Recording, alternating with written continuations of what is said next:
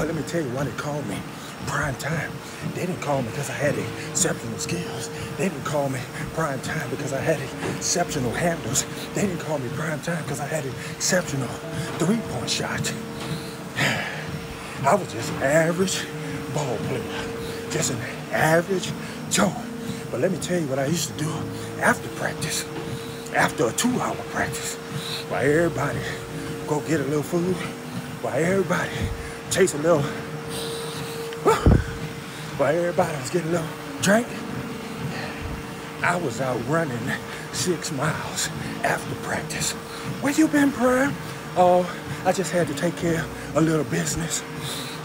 So when the game came, people would say, is that prime time? He looks average. He walks funny. He don't look like a ball player. As a matter of fact, this gonna be an easy night.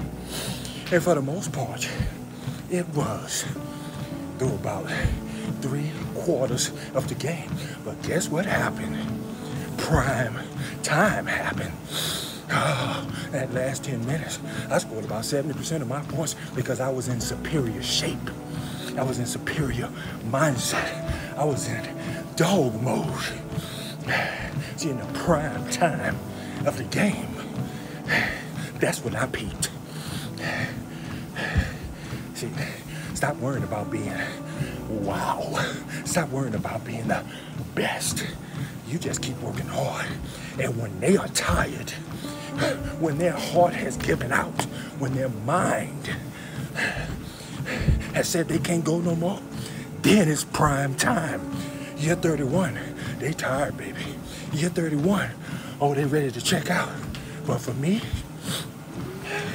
it's prime time. Wow! Don't let that go over your head, baby. Don't let that go over your head, baby. Just an average man with a superior mindset of sustained excellence. Take it or leave it. I'm not trying to impress you. You see where I'm at right now? I'm still in that six mile mode. Why they chasing, Why they drinking, Why they chilling, it's prime time. Fourth quarter, baby. Fourth quarter. It's year 31. I'm just getting started. My legs are fresh. My mind is fresh. My heart is fresh.